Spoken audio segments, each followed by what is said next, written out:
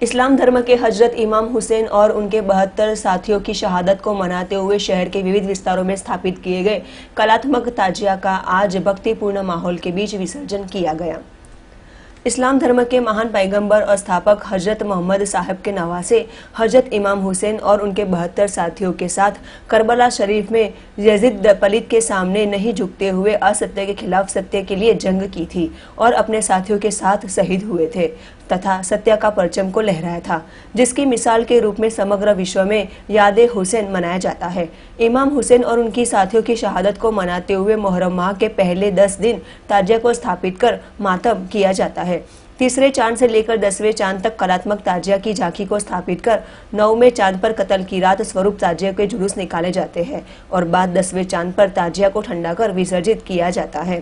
شہر کے ڈانڈیا بازار ستھ خانقاہ رفائیہ دوارا بھی آج تاجیہ وسرجن کرتے ہوئے رفائی کمال الدین بابا کی وشیش اپستی میں تاجیہ کو ٹھنڈا کرتے ہوئے جلوس نکالا گیا تھا، جس میں بھاری تعداد میں مسلم برادر جڑے تھے۔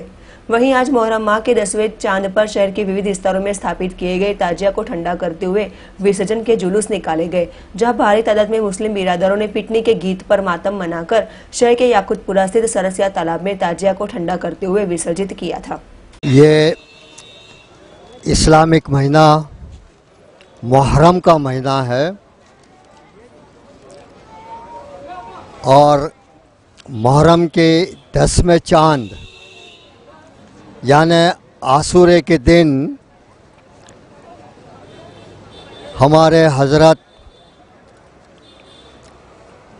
امام عالم،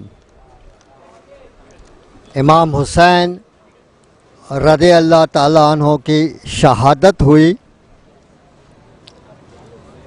تقریباً اسی وقت، جس وقت ابھی یہ وقت ہے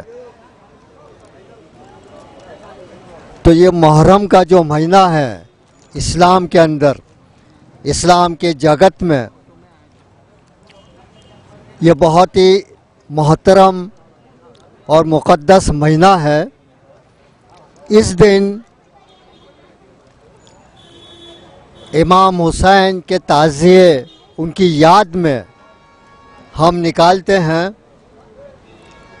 اور اس کا جلوس کے ساتھ استقبال کرتے ہیں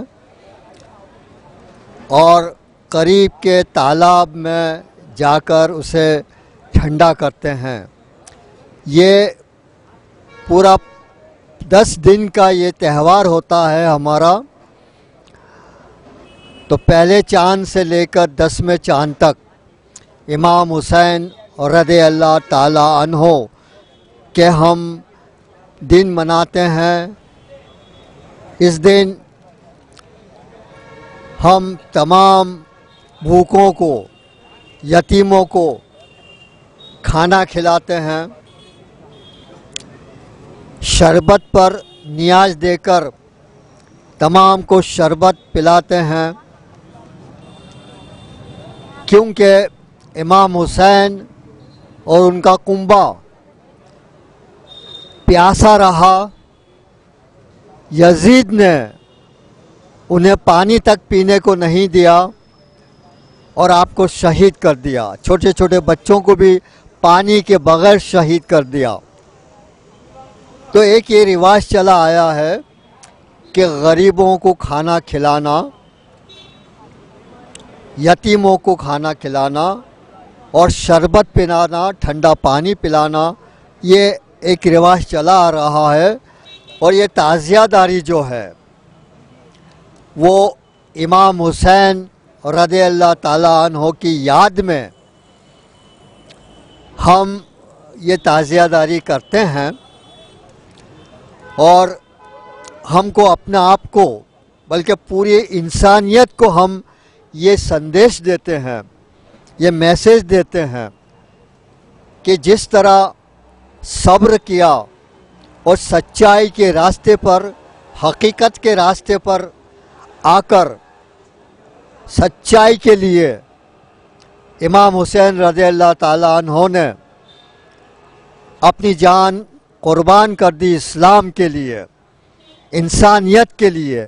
یہ ایک پیغام پوری دنیا کو، ہمارے آقا امام حسین رضی اللہ تعالی انہوں نے اپنی جان کی قربانی دے کر یہ پیغام پوری دنیا کو پہنچایا ہے۔